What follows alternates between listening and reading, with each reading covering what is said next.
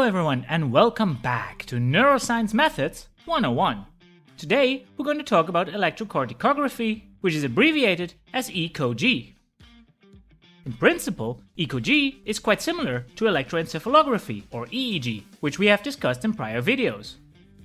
As a quick reminder, EEG is a non invasive procedure where tiny electrical signals are recorded from the head.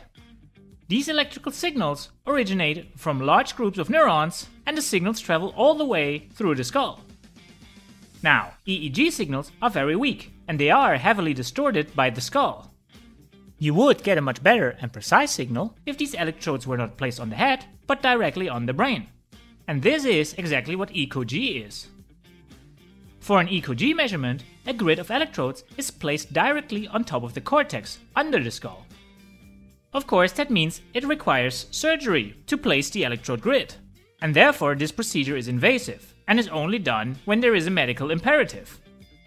For example, ECOG grids can be implanted in epilepsy patients to identify epileptogenic zones, which are parts of their brains that generate seizures. Identifying these zones with ECOG will give surgeons a chance to remove the epileptogenic region without causing too much damage to other areas. Before the initial surgery, where the ECOG grids are placed, EEG and MRI scans can help to get a rough estimate of what the best location to place the grids would be. ECOG grids consist of small, disc-like electrodes that are placed epidurally or subdurally. Grids and distance between electrodes can vary in size, which depends on the region of interest. Now, in many cases, epilepsy patients who have received an ECOG implant will be observed for several days or even several weeks to identify the sources of the epileptic seizures. If a patient gives consent, the time in between can be used for research purposes, as the grids give a unique opportunity to study electric activity at high spatial and temporal resolution. Research protocols on patients with ECOG are often quite similar to EEG research and can involve visual tasks, cognitive tasks, or motor tasks. Subsequently, event related responses can be investigated. This means the brain response to a certain event or action, for example a button press or the observation of a stimulus, can be investigated.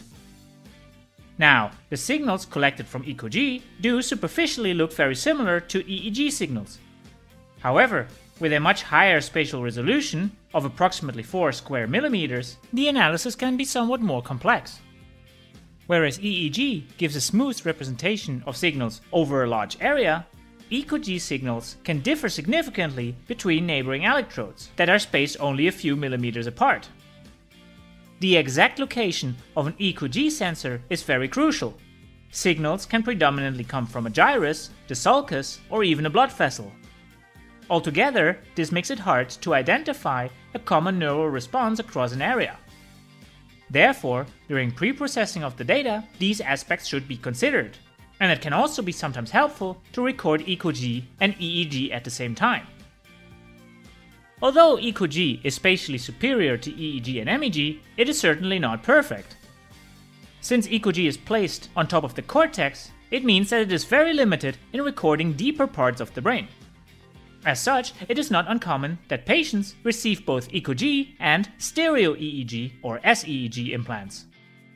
SEEG records signals from inside the brain through electrodes that are placed on thin leads. These leads or rods have a similar thickness as an uncooked piece of spaghetti, and they can be inserted in the brain without causing too much damage. Thereby, signals from deeper brain regions can be recorded. Now, most ECOG grids are placed for a short time, However, recent advances allow for long-term or chronic placement of ECOG sensors. This allows for the development of ECOG-based brain-computer interfaces and closed-loop approaches, which can be combined with, for example, stimulation devices. That means that the patient's brain signals are constantly monitored, and if an abnormal activation is picked up, stimulation through a small electric impulse can be applied to fix the problem. Another application, in for example patients with movement disabilities, is to use long-term ECOG to control prosthetics. In these cases, movement planning signals from the motor cortex are recorded with the ECOG, classified, and then translated to actual movement of an artificial arm or hand. Anyways, that's it. We hope you enjoyed this explanation about ECOG. If you did, why not give this video a like? And as always, we hope to see you the next time.